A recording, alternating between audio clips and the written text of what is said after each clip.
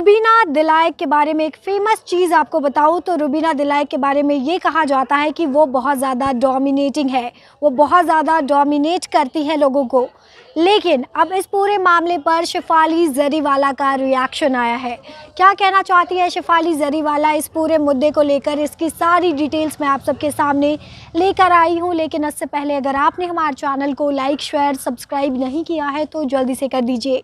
Hello guys मैं पूजा और आप देख रहे हैं फ़िल्म विंडो तो यहाँ पर बात करेंगे शिफाली जरीवाला की तो वो जम कर सपोर्ट करी है रुबीना दिलायक की, वो कहती हैं even if Rubina is authoritative dominating there is nothing wrong in it she is fierce and that is her personality she is using that to her advantage and moving forward in the game I don't think there should be a problem if someone is fierce. Opinioned and has strong personality.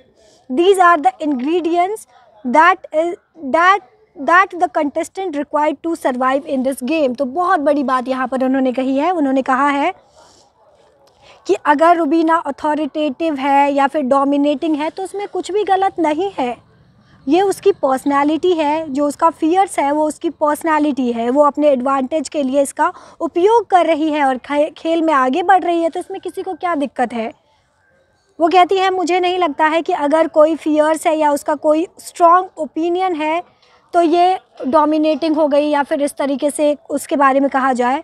ये तो ingredients है, जो कि हर contestant में होना चाहिए और खेल में बने रहने के लिए इसकी ज़रूरत भी होती है। तो इस तरीके से जमकर सपोर्ट में आई है रुबीना दिलाई के शफाली जरीवाला। वेल, क्या कहना चाहेंगे और इनकी बातों से कितने ज़्यादा आप सहमति रखते हैं, ज़रूर बताइए।